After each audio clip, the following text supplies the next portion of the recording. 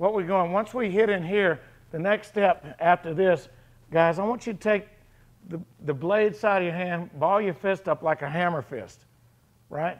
So we've, hit, we've made the initial blocking or two blocking movement, right? The next thing I want to do is starting at the head, the collarbone, or the chest. So we're going to block, bang.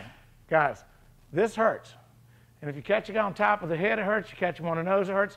So you're, you're blocking, you're stripping, and you're hitting all at the same time, just in case he may have had a weapon in his hands. All right, so here's the drill.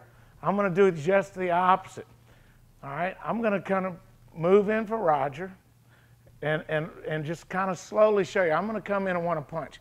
He's going to hit his crash position, and he's going to throw an elbow out.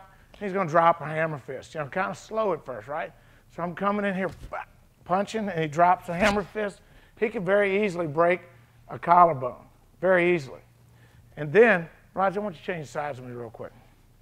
All right, from here, I want to do the exact same thing. We punch, that hurts. He strips and hits, bam. And remember, if it's a real person, start at the top of the head and bring it down. You're pulling through the elbow because he's actually getting inside of that arm and he's creating some pain. And if I was trying to punch again, I have to try to reach around. But he's already hit me like three times in less than a second. A little bit easier, a little quicker. Watch, just real smooth, right? I throw the punch. Guys, this hurts. Same training drill.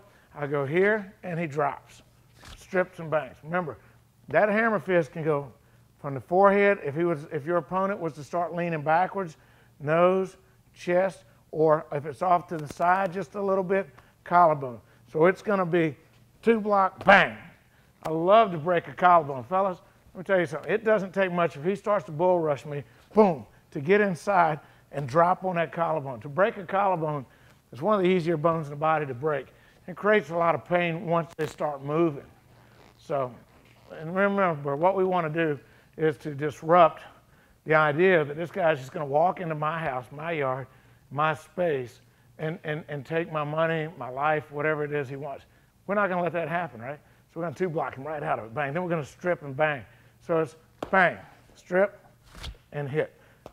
W focus more on the hitting than the stripping, guys. So it's hit, hammer fist, right. Hit, hammer fist. He's killing me.